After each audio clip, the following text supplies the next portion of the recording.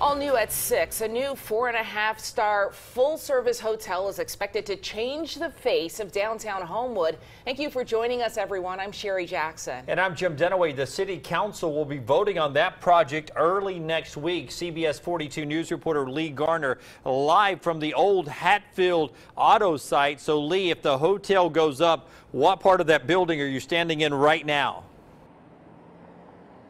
Yeah, Jim, right now I would be standing in the bar restaurant area. At least that's what the developer told me. I was out here with him a little bit earlier on.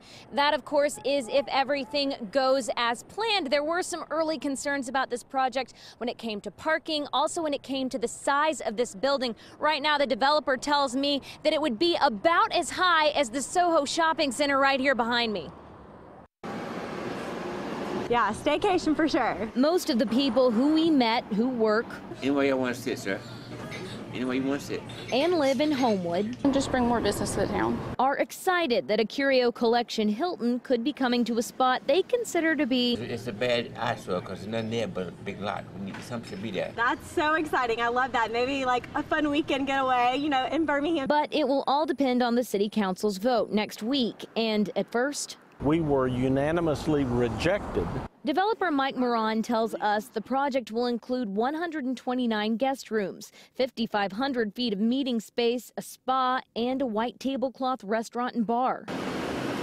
But parking, as well as the hotel size, initially caused some concerns. In retrospect, both of those comments were actually uh, very appropriate. We took them seriously. So seriously that the hotel's parking now exceeds what's required by code, and the original seven story plan was altered to five. And uh, guest rooms above that. The hotel will bring 57 full time jobs to the area, and it's estimated to generate $750,000 in additional tax revenue.